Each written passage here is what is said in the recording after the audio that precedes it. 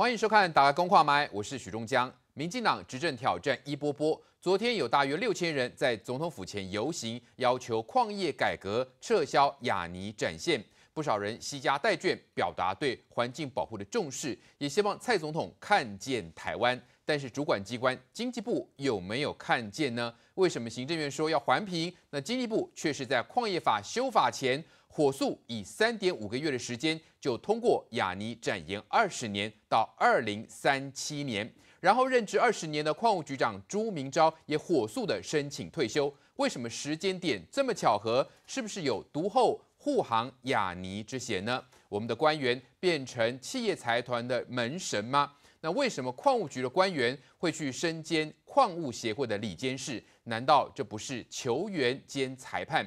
那现在民进党政府被质疑到底是跟人民环境正义在一起，还是跟财团一起？而且执政挑战还有一例一休，很多中小企业叫苦连天。七月是不是要开罚了？很多县市是不愿配合的，继续去辅导，但问题依然存在，困扰是不是会拖更久呢？还有前瞻建设条例。质疑声浪越来越多，现在最新的民调反对已经超过赞成了。那政府的论述以及十万本的小册子，是不是足以说服大众呢？相关问题我们一探讨。首先介绍今天来宾，民进党立委叶以金，大家好；还有国民党文传会副主委胡文琪，中江好，大家好；民进党发言人张志豪，大家好；还有资深媒体人钟年晃，中江好，大家好。好，我们先来看民间团体昨天发起的“六二五看见雅尼抢救泰鲁格”大游行，吸引了六千人参与。来看 VCR。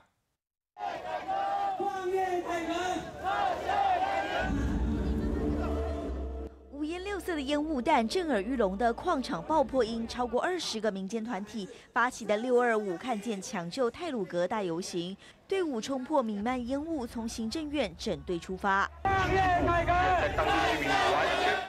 尽管是艳阳天，依然不减民众的愤怒。三千人走上街头，从行政院挺进凯道府前，不少人惜家带眷，小到三个月，大到八十岁。他们是我们的下一代，是国家的资产。对，所以我觉得，呃，我们都是住在台湾这块土地上面。如如果被破坏了，那以后我们该怎么生活在这块土地上？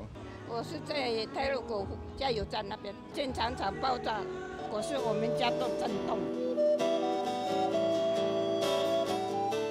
拍出绿油油的台湾形状，希望蔡政府能像导演齐柏林，用更高视野关注台湾山林永续发展。已经聚集了有六千人，当然是希望说蔡总统，他去年八月跟我们的原住民族道歉，那但是今天那么多族人会被迫站出来，就是因为我们中华民国政府打破了他们的承诺，甚至去为了一个财团架空我们的原基法。我们要修法，经济部不知道吗？知道。知道我们要修矿业法，赶快让雅尼通过。这样的部长要不要下台？我跟李世王讲过，雅尼部长这顶帽子你戴定了。民间团体要总统道歉，立委徐永明要经济部长下台。面对排山倒海的停权声浪，雅尼紧急发出四点声明。强调尊重团体与个人表达意见权利。不过，雅尼在花莲的矿区不在泰鲁格国家公园内，而且雅尼行事一向正派，愿意配合政府政策等。只是目前撤销雅尼矿权的连数已经高达二十一万人之多，如何妥善平衡各方意见，也考验政府执政能力。好，我们看到雅尼在花莲的新城山矿产呢，其实历史相当悠久，有多久呢？争议又在哪里呢？来，透过图卡我们来看哦，它的所在位置是在花莲县的秀林乡，核定面积是一百八十五公顷。那矿权的期限是从一九五七年哦，呃，时间相当的早哈。那雅尼就取得了花莲新城乡矿产这个权利呢，有四十年。到了一九九七年呢，首次啊展延期限二十年。那二零一七年三月，经济部核发第二次的展现，有效期至二零三七年的十一月二十二号，这时间加起来有将近八十年之久。那再来看它的这个呃争议所在，生态回复呢，二十五公顷的矿区跟泰鲁格国家公园重叠。那雅尼呢，虽然在展延申请时呢剔除这个范围，但仅做水保以及直升富裕。在土地争议部分呢，遭控侵占泰鲁格族的土地。那环境安全部分，雅尼矿区的范围内有三条土石流的浅式溪流。好，我们看到这些民间团体希望蔡总统能够看见台湾。我想请教年晃，那经济部有没有看见呢？还是只看见财团的需要？呃，这件事经济部的处理确实不好。好，尤其我最不能原谅的是，当立法院在三月要修矿业法的时候，你经济部却在三月十四号去核准雅尼的展现。那跟过去的比较起来，过去大概都要花差不多一年的时间才会准，而这次雅尼却只花了大概三个月就准，这里面有太多的巧合跟不寻常。那我最不能接受是经济部，你明知你三月十四号已经准了，可是从十四号之后一直到二十五号，立法院的经济委员会在讨论这个事情的时候，竟然上至部长下至这个比较基层的官员，没有一个人去告诉立法委员说，报告委员，其实我们已经核准了。嗯哼。有这么难吗？你你这样子会让人家觉得说，那你是不是刻意在隐瞒些什么事情？对，感觉像在掩护，对，掩护。这就会让人家，当然经济部也许他会觉得很委屈，说我都依法，没有错，我我相信你是依法，可是有必要这么快速吗？你为什么不照正常的程序来？就大概差不多一年的时间，而且你明知立法院要修矿业法嘛，有有必要这么急吗？也难怪大家会对经济部会有一些指控嘛。嗯，那更何况经济部在这一波雅尼事件的表现里面，我觉得根本是荒腔走走板。后来开始大家慢慢发现，矿务局相关的官员，上至局长，下至组长，都在矿业工程协进会或矿业工程学会有兼任一些职务的时候，当大家提出质疑的时候，你经济部告诉我们说，呃，各个社团法人都有产官学啊，这很正常啊。嗯我觉得这种这种回答哈，会让人家觉得你真的是活在火星里面。所以你你光看这两个问题，包含当地很多原住民朋友指控，在一九五七年的时候，其实他们是指控说，当时雅尼是用不正当的手段取得他们的土地的哦，因为他是说，当时他们并没有告诉他们，呃，这个土地从此之后他们就拿不回来了。当时只说啊，他们以为是就跟他租土地而已，就没想到一租租了六十年，接下来还要继续再租二十年，长达八十年。哎，八十年一个婴儿都从出生都都活到八十岁了，所以这里面有有比较大的范围是牵涉到一个呃转型正义的问题。这个转型正义就是说，你当时有没有涉及用不正当的手段从原住民手中取得土地，这个是需要用转型正义去处理的。那经济部这一块是，你没有错，我同意现状是台湾很多的法人有很多的呃经政府的官员在里面。哦，特别是一些比较专业性比较高的哦，可是这个问题要不要处理？对，球员兼裁判。对你产官学大家一家亲，这个是过去台湾旧时代一个非常不好的陋习。那既然我们现在已经发现这个问题存在，而且也常年来受批评，那你经济部你的态度应该是说，我站出来说哈，大家说的是，我觉得这个现象我们也不能接受，我们将来要来检讨。你经济部只要一个行政命令下去。经济部所属的单位，任何的公务员，你不得兼任民间社团的董事或任何职务。你要关心这个社团所探讨的议题，可以开会的时候你就去去参加就好了嘛。你为什么一定要兼任董事，或是常常务董事，或是监事？为什么一定要兼任这些职务呢？你你一定会让很多人怀疑说，你这个是不是是不是去当门神嘛，或是为你将来退休之后预预埋这个后路嘛？所以我觉得这个。不只是雅尼的土地的取得，还有这个产官学，大家一家亲。这长期来讲，这应该是处于呃台湾过去的转型正义的一环。对，那这个部分当然要处理。可是你现在当务之急是雅尼这个问题要怎么处理？我的判断呢，哈，雅尼虽然这个矿权展延核准了二十年，但是我的判断以现在当下的政治的氛围跟整个行政院的态度看起来。我认为这个虽然展延到现在没有废止，但是他将来一定要补环评的程序。我我的判断了，就不会撤销？你觉得不会撤销？因为你你要因为撤销跟废止的定义不一样哈。呃，撤销是指这个违法，就就这个行政程序违法，所以你才能撤销嘛啊。那废止的话，就是说在没有违法的情况之下，就我政府可能因为政策改变，我就可以把你废止掉。嗯哼，你现在如果当然你要撤销也可以，因为这行政命令本来就可以撤销。可是你在现在这个当下撤销，你可能会面临将来雅尼一定会打行政诉讼的问题。我我认为这一定会打，就说他程序都没有不法。对，都是合法。目前看起来程序有很多可疑之处。很多人说这个过程都是合法，但是不合理。对，就是它程序有可疑之处，但是有没有不合法到要撤销？看起来目前看起来的确是没有。可是因为它现在将来要修矿业法，它中间在卡一个环评，所以我觉得就政治实务上来讲，呃，雅尼这个花莲新城山矿区将来如果要继续展延，因为它的其实它采矿权是到今年的十一月嘛，哈，大概有五个月的时间。对，就它如果要。呃，延续那个展延的采矿权的话，势必要经过环评。那如果环评不过，可能这个展延可能就会直接被废止掉。这是我我个人的判断。我认为在现在的政治实务上，看起来事情会比较朝这个方向发展。可是你解决了雅尼的个案之后，你后面还有台湾大概还有一百多个人在开采中的矿场，其中包括有不少其实是水泥矿。那这个部分。其实我觉得政府应该做一个比较通盘的检讨哦，就从我刚刚讲的那个点，就你当时取得土地有没有不用涉嫌用不正义的方式或不正当的方式去取得土地？对，那这个时候你是不是要么停止采矿还给人家，要么就是跟当地的原住民这些受害者，你跟他谈协调出一个双方可以接受的机制，是。要不然这样的抗争。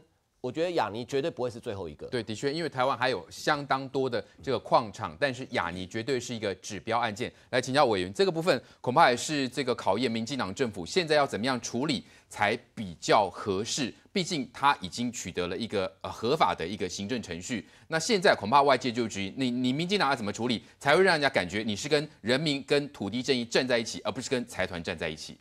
是这件事呢？呃，说实在的。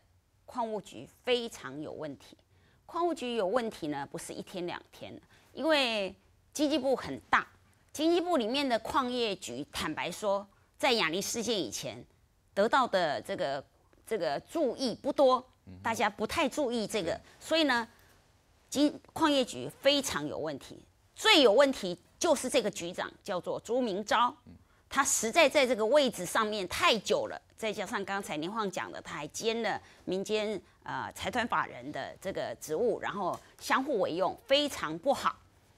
但是这个问题不只是这样，我举一个例子，其实我很早就注意到矿务局的问题，特别是这个朱明昭的问题。比如说我们台江国家公园，台江国家公园呢，他刚雅尼还说他没有在大陆的国家公园里面呢。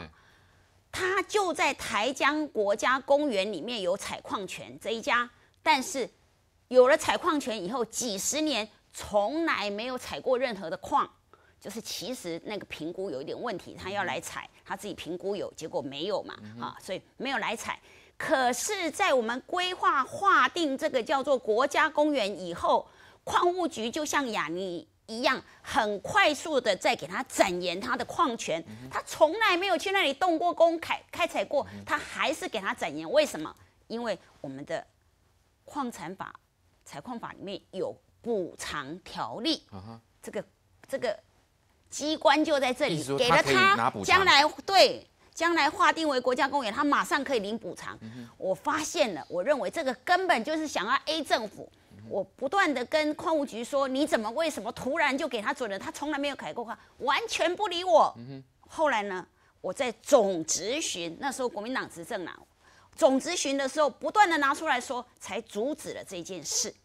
好，所以呢，现在回来关键在哪？这个法要不要修？一定要修。我们知道这个法一定要修，就像我跟各位讲的，我了解这个要修的关键。两个点，一个就是补偿。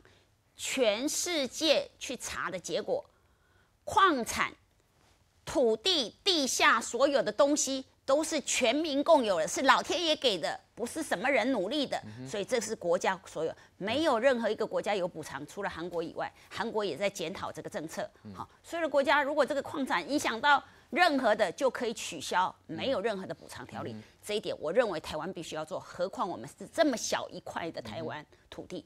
这个补偿条例应该要删除，在修法的时候要努力的。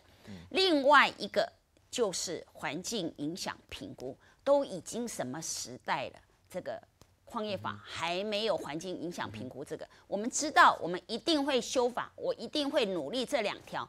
但是有没有办法在这个时候做？我刚刚说那个补偿条例，就是现在我们不能马上取消雅尼之关键所在。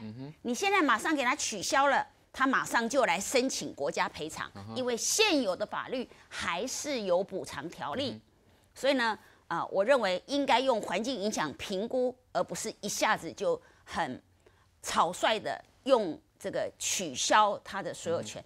虽然那个准许，我们真的觉得朱明昭很有问题的哈。什么时候要修法？我跟各位，我们会把它列为优先法案。但是大家知道，临时会还是下个会期？对，我现在要说，临时会的东西是不能够说哦，我可以塞什么就塞什么进来，是要开临时会，要先确定你要审什么法案的。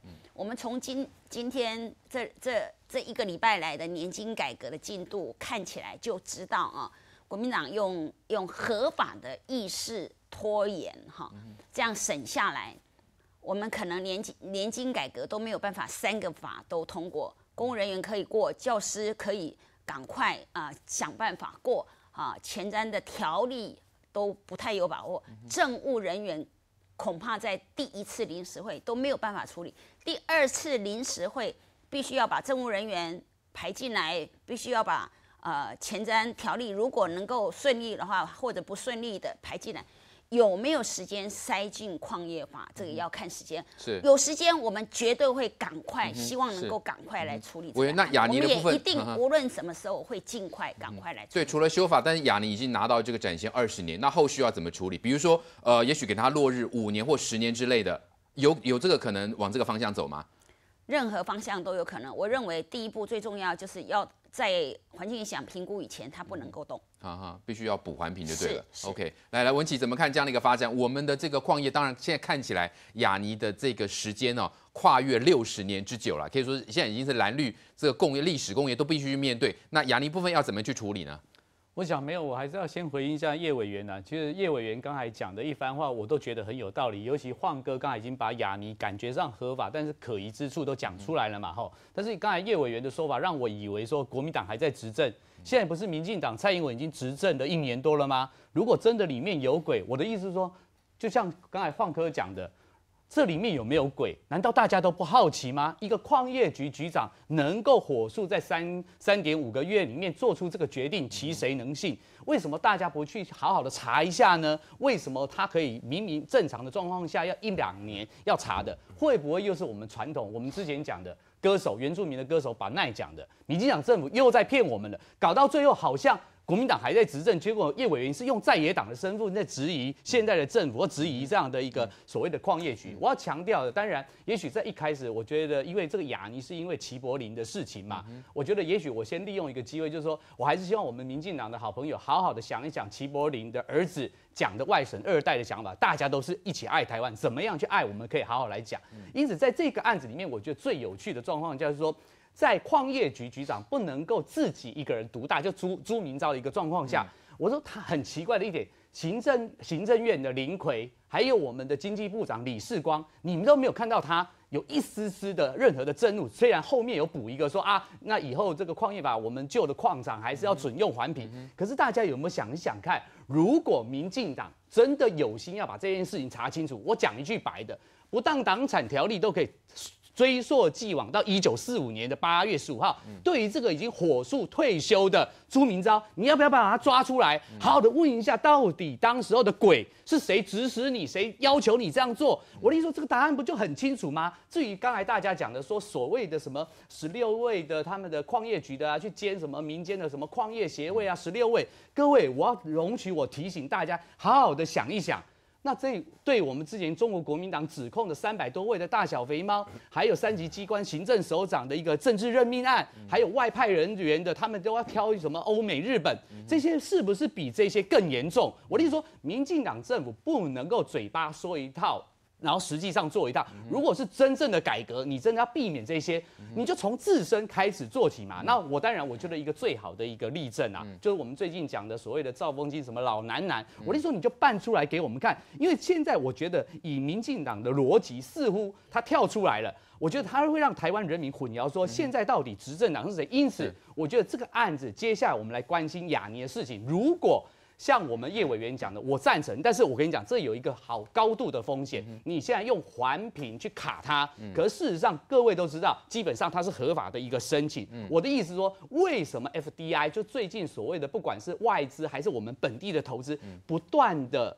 撤退，或者说不断的不投资。我的意思说，我们一个国家的政策法令，如果又可以因为哦，民进党政府一个刻意的技术性的背格，我的意思是说，雅尼你要查清楚。但是雅尼的撤销或是什么用环评去卡关，民进党政府要发挥大智慧。对，因为大家都在看哦，我雅尼这个案子，你今天民进党政府为了说有二十一万人，我倒不是说谁对谁错，而是说。你民进党政府必须拿出一道实际解决的问题的方法，否则你就会一再的陷入所谓的头痛医头、脚痛医脚，到最搞的内资外资没有人敢来台湾，所以我才会常常举一个例子，你说要发展新南向，可是你看到和美约是到到美国。发展什么生计团？是民进党的执政的逻辑错乱至此，我觉得也许民进党的一军像叶委员，真的应该好好的要求民进党的蔡政府，你好好的想清楚你执政的优先顺序。亚尼案你就彻彻底底给我们一个交代，否则我担心的是什么？各位礼拜五王国才讲的那句话，就是蔡英文总统你开的恶例。王国才说什么？是不是把那个案子给太多了？华航罢工案，我们希望雅尼的这个案子千万千千万万不要再变成第二个华航罢工案，否则其实它浪费的不只是台湾的纳税义务人的钱，其次也是让台湾的国际竞争力在国际上越趋衰退。而且我最后要强调的。民进党政府其实不用花五千多万的媒体的什么采购费，其实只要听听胡文琪每天在野党，我们到底在骂什么，其实不用花那么多钱。听听我们怎么讲。文琪今天的意见其实也是蛮务实来，就是说今天面对这样的情况，民进党政府该如何处理来治好这部分，对民进党是一个考验哦。特别是我们看到这整个展延二十年的过程，似乎有相当多的疑点。那特别是矿务局长，哎，突然也紧急申请退休了，更让他觉得这个时间点，那不能够查吗？那再来就说这个所谓的。呃，会不会吓跑外资来台投资的这样的一个意向出现？我今天现场我体验到文奇兄扭曲事实的能力了吼。那我先回应一下展延案这个部分。那监察院已经立案调查当中。那么有关此案，经济部的矿矿务局啊，也依法在配合调查。这个是目前的进度。那呃，到底怎么样，我们就让监察院来进行调查啊。那那矿务局也会配合调查。那呃，讲到雅尼案。其其实我从小我就搭火车回到这个阿妈的故乡。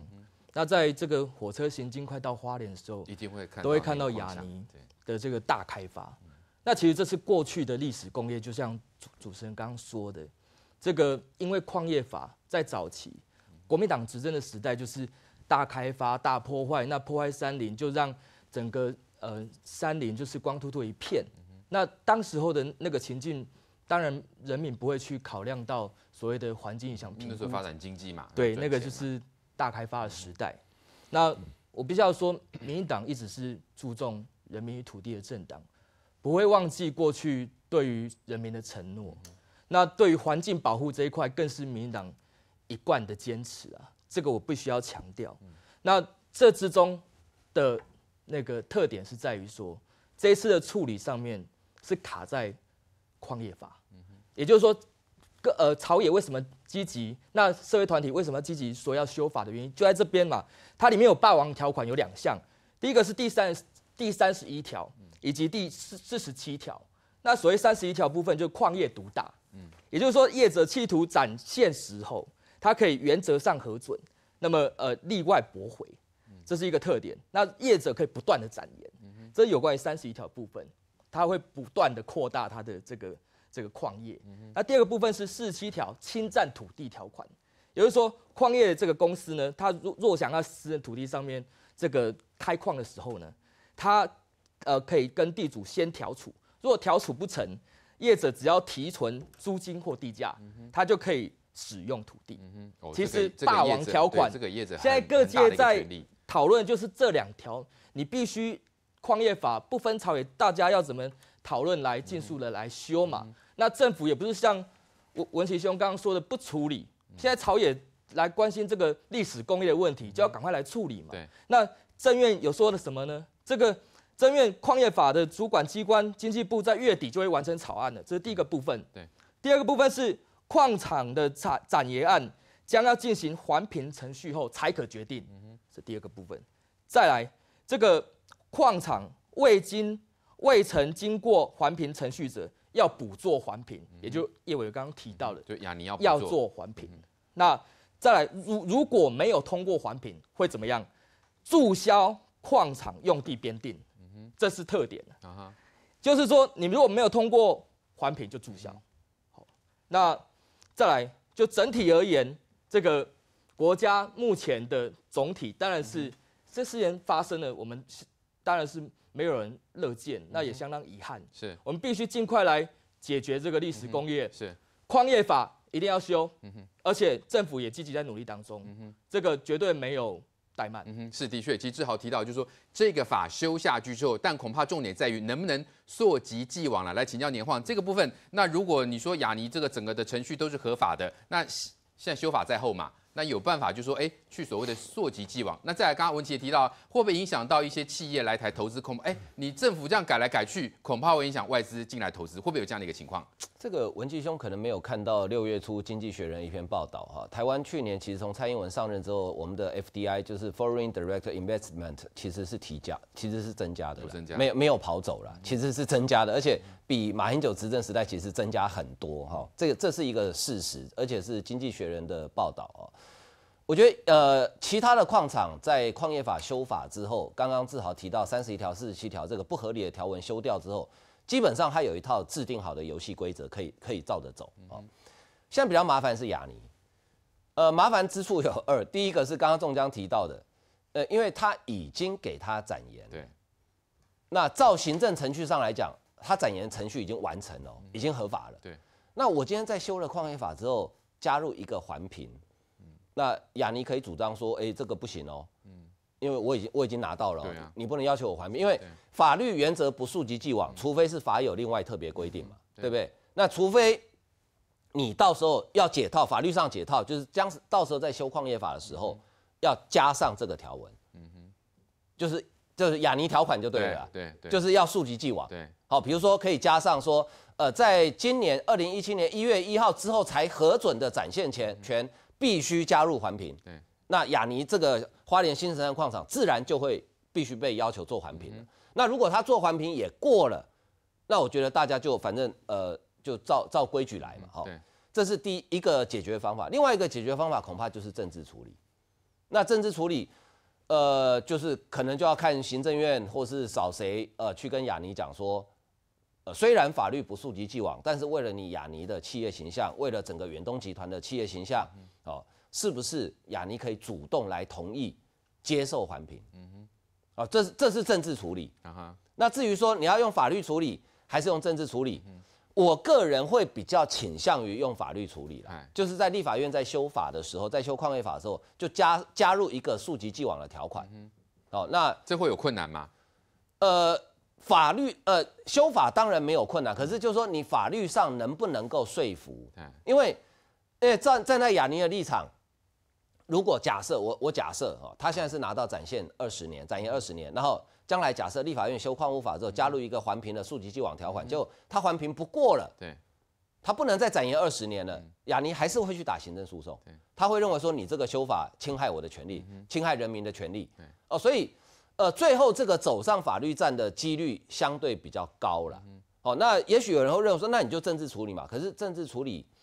它会留下一些，呃，留下一些后遗症，嗯，好，会留下一些后遗症，特别是因为雅尼的老板又是在台湾常常语不惊人死不休的这个徐徐旭东老板啊，对，他会留下一些后遗症。那这个后遗症什么时候会有出现一些呃政治上的风险？说实在，我我们我们很难确定，因为你政府你要你如果要求雅尼说，那你就接受环评，雅尼相对的行李郎嘛，他一定会提出一些条件，对对，那这个条件你能不能答应？对。还是说你答应了什么？嗯哼，这个这个它是一个未爆弹哎。对，对，所以我是我个人是比较倾向于法律处理了。那如果法律处理最后雅尼不服，透过法律的程序去提行政诉讼，甚至申请国赔，我觉得大家要有一个呃观念，让大家有教聘教给啊。嗯哼，是如果我们照法律处理了，也还评了，也不过了，不给他展言，但是雅尼去告了，最后要求国赔了，请大家到时候不要再骂说啊，你看政府又浪费人民的纳税钱。对，因为其实现阶段能处理的方法大概只有这样。OK，来来，文琪你要补充回应。来讲啊，我就是说，我还是强调一个局长没办法做这么大的决定，所以谁哪里有鬼，我觉得政府要查清楚。刚才赵赵志豪讲的很好，我要提醒的，不管是赵风金、永丰金、雅尼案，我就希望你们办一个进度给我们看，不要说哎船过水无痕，因为我们根据过往的经验都是这样。第三个，刚才那个晃哥讲的 FDI，容许我念一下，外商直接投资今年前五个月只有三十三点一亿美元，年减少三十五点二，五月单只有一点十八点五亿元美元，年减少四十八。我觉得这个东西是事实胜于雄辩，而且问问人民的感受，为什么我们的台积电、我们的义大、我们的什么台他们用脚投票我是要强调说台湾的投资环境不断的变差，民进党政府要必须要付出他的责任。再来，我容许我讲最后一个，就是其实你只要看注意一个问题，又是回到人民的实际的生活，香蕉问题，嗯，是不是从大起大落，我们就看到民进党政府的执政的无方无能？谢谢。来来，委员你要不要回应这个未来民呃民进党政府在修法的部分，还包括在雅尼的部分，要如何去说服他本身以及社会大众？修法让矿业法以后一定要纳入环境影响评估，虽然是因为起因是雅尼的这个矿权二十年展延引起了社会的公愤，但是这个修法是必要，而且是合乎时代潮流、合宜的，因为台湾必须要很严肃，全世界都必须要严肃的面对呃环境恶化的问题，所以这个修法。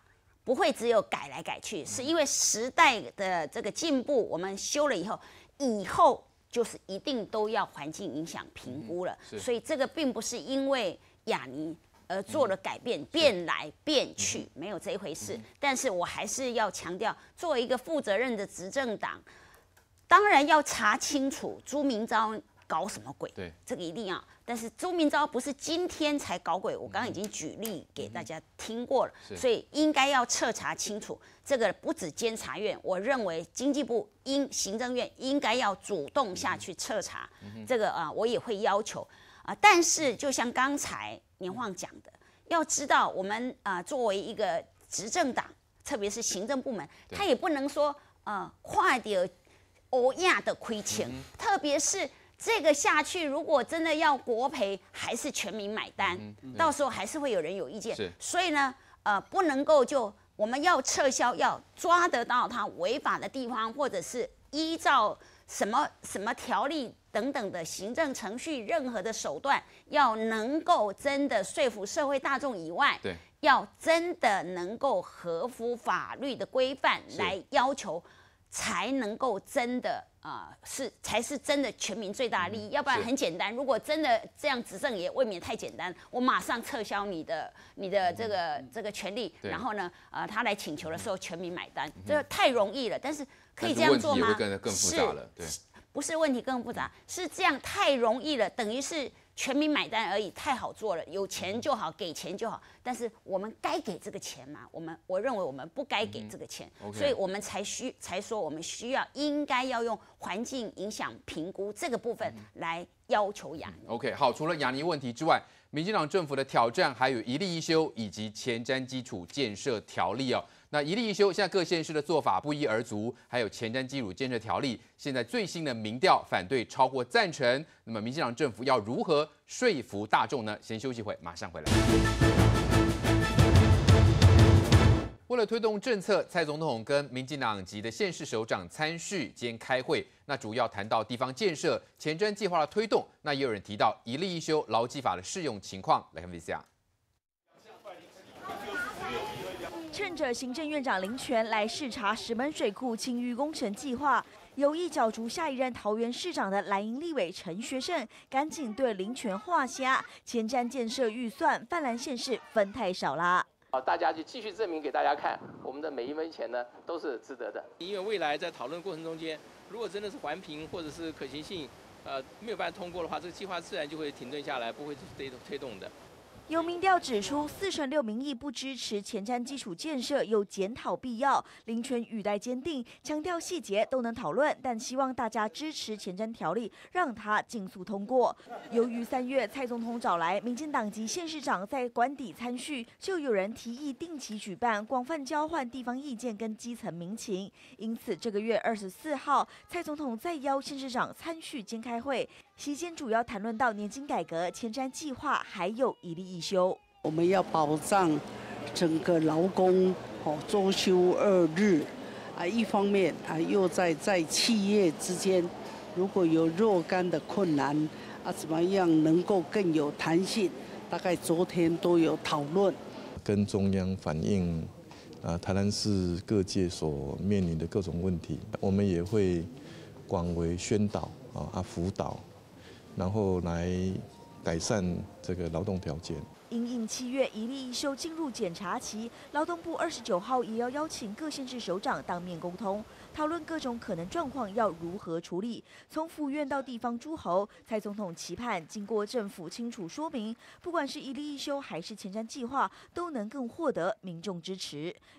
好，民进党执政的挑战哦，包括这一例一修，还有前瞻建设条例。我们来看到一份最新的民调，这是台湾民意基金会所做的。那国人对于八千八百亿前瞻基础建设计划的支持倾向，那其中赞成的部分呢是大概三十七趴，不赞成的部分呢已经高达五十趴哦。我想先请教委员，现在执政的挑战，包括基础建设条例。呃，反对的比赞成的还要多。那现在民进党说要印制这个十万份小册，是不是足以来说服社会大众？那还有就是一例一休啦。那七月一号是不是要开法了？说实在，我我不相信前瞻基础建设呢，呃，反对的比赞成的还多。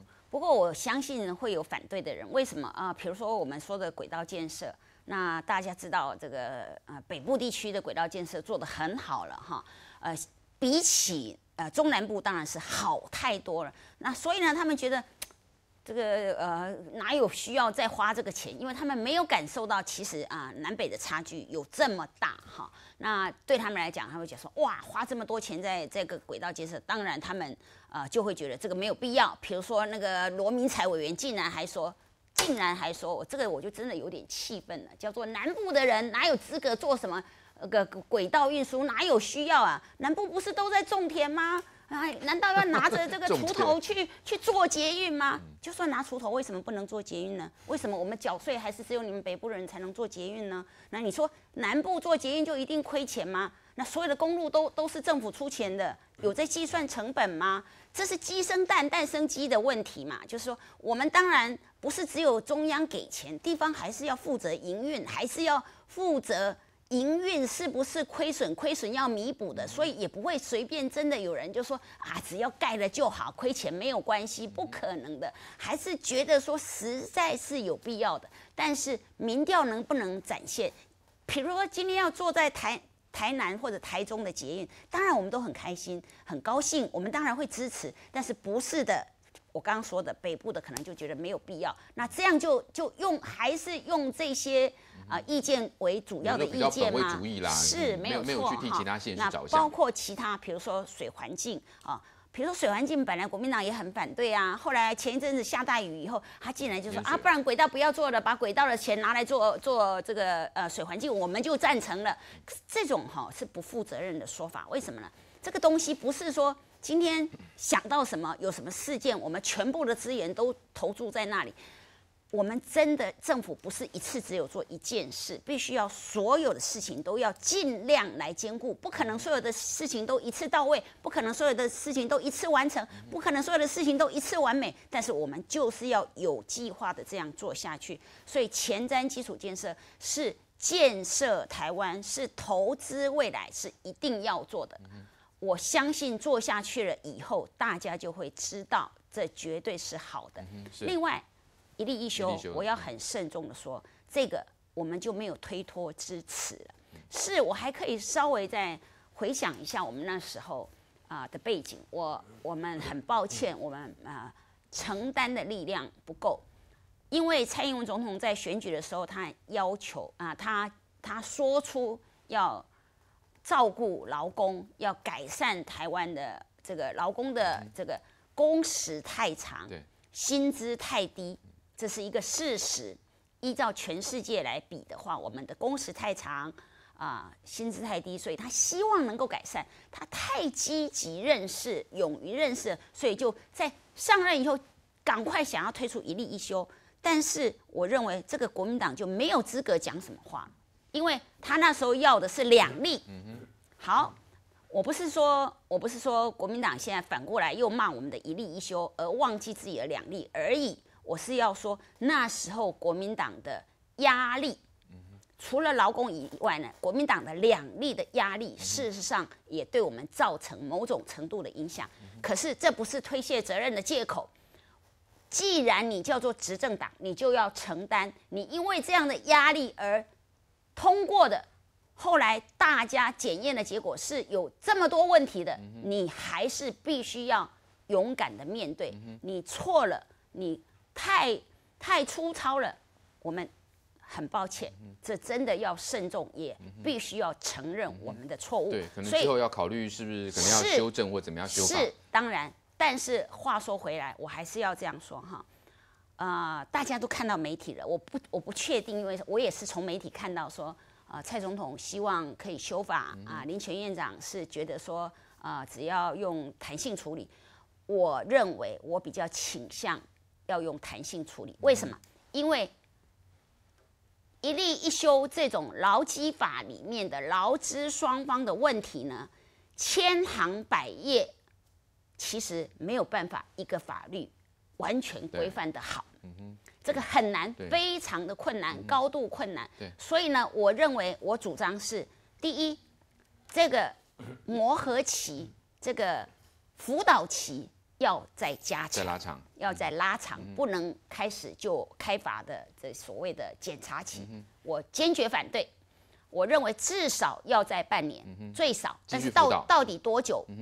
呃，我我觉得大家可以来谈。是这个辅导期要做什么？就是让劳资双方去做磨合，磨合什么？磨合出一个劳资双方可以接受的弹性处理的方案。是，然后，如果它是职业别的，它是整个产业别的，那么归中央管的，就请劳动部来核备。如果它是中小企业、小型工厂或者呃比较呃地方管理的产业呢，就地方的这个劳工局来核备。嗯 OK，政府的角色必须要再拉回来当裁判仲裁的角色，而不要跳到第一线去。人家劳资双方没有什么。呃，没有什么冲突，没有什么问题的时候，你自己要跳出来攻亲被属 OK，住，这个就是这样这个是不好的。那我们给文琪，这国民党是不是忘了自己当初提的两例？再来前瞻建设是不是也要做一些修好，正？我一我一并回答了哈。如果蔡英文继政府继续这样搞下去，我说那个不要说尤银龙的民调啊，只有更惨，没有最惨哦。因为蔡英文的反反复复，其实前瞻委员讲的很好，可是委员完全忘记，其实他如果要一枪。不用一竿子打翻一船人，我也不要他多厉害，他只要说好民意，公开挑战林权，说要辩论，基本上只要林权接受了好民意的挑战，把事情说清楚、讲明白，可以解决那民调里面的大概一半以上。遑论陈柏志、吕秀莲、刘黎儿，连我曾经讲过林静英的大记者，到底他现在听懂了没、看懂了没？前瞻我已经讲过了，前瞻计划之所以会被诟病，是因为之前我们讲没有精算师敢签证，还有陈天师根本搞不清楚，而且之前为了要糊弄大家，他说这个东西不是三四个月拼凑出来，是两三年前各个部会就在蓝营下面就开始在弄了。我就反问嘛，两三年前的东西会前瞻吗？更何况这些所谓的菜黄狼的台湾车辆公司，会不会有嫌疑去包了那一半以上四千多亿的轨道工程？遑论台湾的少子化的一个趋势，到底我们民进党政府有没有考虑进去？接下来我回答简单的一例一休，一国多制。其实刚才委员讲的很好，其实如果说蔡英文的政见不是想推卸的话，他们就要想想为什么魏明谷、赖神、林佳龙，还有之前的柯文哲的。的疑问，高雄市政府的部分，我觉得这个东西要问问人民的感受。为什么严存佐现在的台南市党部的主委要组一个万人修法联盟，还有何新存连上去都不能够上去讲话，遑论这些中呃挺绿的所谓的中小企业主，没有人敢挺。所以我觉得民进党政府不要好像，我觉得搞到最后就是我刚才讲见鬼了。民进党好像还是在野党，委员还事无在嘴里，而且我要讲的劳动部，各位我们想想看，劳动部我不管他是不是表姐部长，你只要想想看，到时候少子化的状况，他为了应付所谓少子化的国安政策。他的部长跟他的主秘跟他的次长基本上是一边一国是一国两好制。那么有关这个一立秀有。跟前瞻建设到底要如何加强沟通，如何修正？先休息一会，马上回来。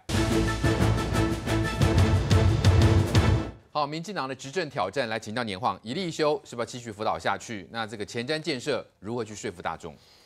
我我觉得一立修到呃未必是一定这么硬邦邦哈。我的看法是，我觉得现在其实是一个呃阵痛期。当然，每一位委员、立法委员他面临的选区的产业结构不见得完全相同。如果他的选区的产业结构是中小企业为主，那对对这个委员委员来讲，他可能就会认为说这个问题很严重。对，哦。那为什么我认为它是阵痛期呢？大家其实回顾这半年来的新闻啊，今年一月一日是新制开始实施，所以大家吵了一阵子。当时吵的主题叫做物价因为一例休而上涨，后来发现好像不是这么这么一回事。那最近在吵呢，是因为七月一号开始就所谓的辅导期结束了哦。但是其实呃，因为劳检单位它的行政裁量权其实还蛮大的，所以我会建议劳检单位七月一号开始，除非是这个老板是很恶意的在违规，其他基本上我认为还是应该以辅导改善为主。为什么我这么说呢？其实很多我接触到的一些中小企业老板，他们对一立修真的不了解，他们只是因为不了解而害怕、担心、怕被罚钱。他们其实真的不了解。很多我甚至碰过餐饮业老板跟我抱怨说，他现在六日加班费多好多。我说你怎么会多？啊，因为六日我餐厅不可能休息啊。对，生意正好。对啊，我来他就要二点六六啊。我说，哎、你搞错了吧？餐饮业是弹性工时、哎、你可以八周或四周弹性工时，你只你只要让他排休就好，没有人规定你一定要休六日。所以很可能很多中小企业他真的搞不清楚，他一知半解。对，但是他怕被罚，所以他就呃本能性的说，那啊不知道赶快改，赶快改哦。所以我我觉得这个问题大概呃基本上老检之后开始做哦，那还是对于真的不了解状况、无心犯错的，还是给他辅导、给他劝导哦。那而且呢，你说呃劳检县市要不要配合？因为台湾现在劳动检查的现况是，除了直辖市以外，非直辖市的县市根本没有劳检的能力。它都是由中央的劳动部在负责劳动检查，所以他们也没有什么配不配合的问题啦。最后我要回应一下文奇兄啦，台车公司是国营事业啦，让台车赚钱又怎么样？还是对国家赚钱啦 啊。对对对啊。对，不好意思，治好，最后时间了。